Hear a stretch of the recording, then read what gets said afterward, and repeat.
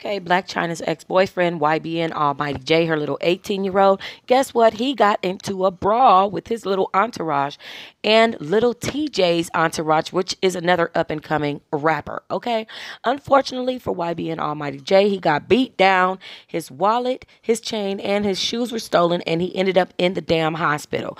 Okay, now what happened was they were outside of some place. They were shopping. They were trying to get shoes or something of the nature. They ran into each other. They exchanged a couple of words, and then all of a sudden they started fighting. The two crews, YBN Almighty Jay, ended up getting jumped and separated from the rest of the crew who ran off.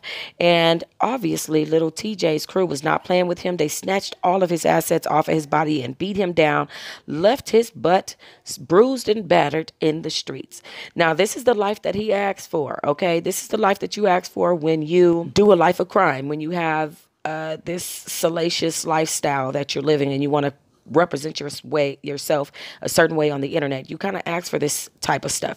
But anyways, I think that YBN Almighty Jay just needs to wisen up, get older, and then things like this will stop happening. Right now, he's just a knucklehead in the streets, and so is the other little up and coming rapper.